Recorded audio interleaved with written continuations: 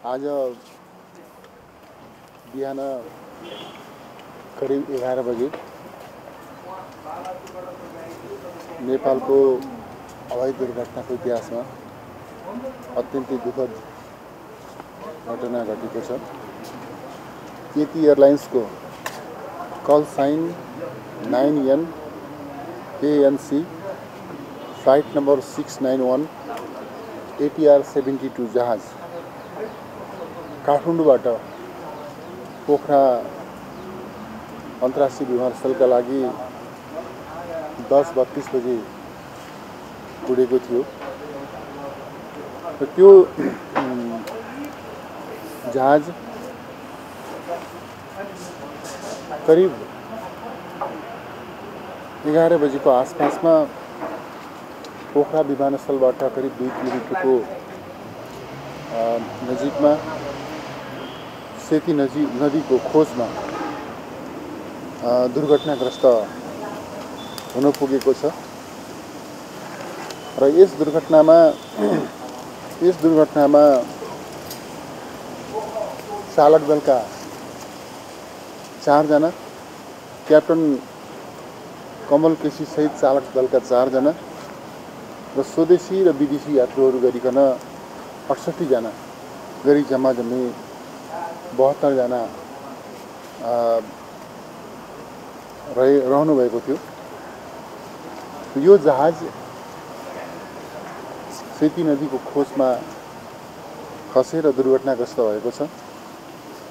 र यस सन्दर्भमा घटनाको बारेमा प्रारम्भिक जानकारी हुनासाथ स्वयं सम्मान्य प्रधानमन्त्रीज्यू र सिङ्गो मन्त्री परिषद राज्यका सम्बद्ध निकायहरू र सबै क्षेत्रबाट घटनाको बारेमा जानकारी लिने उद्धारका कामहरूमा खट्ने त्यस खालको कामहरू भएको छ।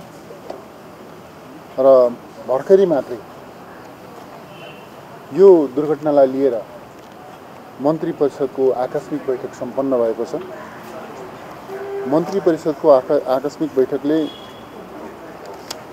लिएका निर्णयहरू म यहाँलाई जानकारी गराउन चाहन्छु। मन्त्री परिषदको यो बैठकले यो घटनाका प्रति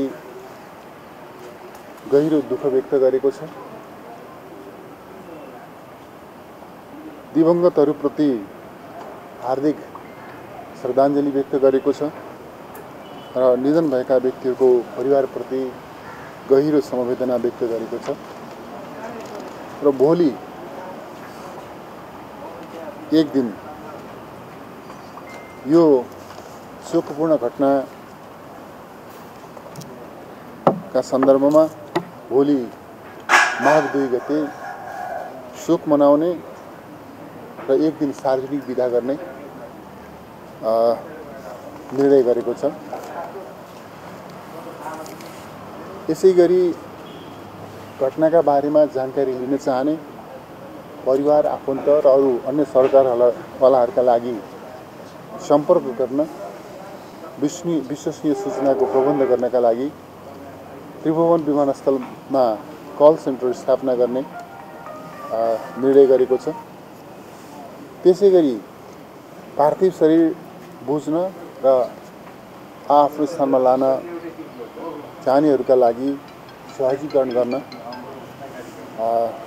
आवश्यक प्रबन्ध मिलाउने निर्णय गरेको छ। र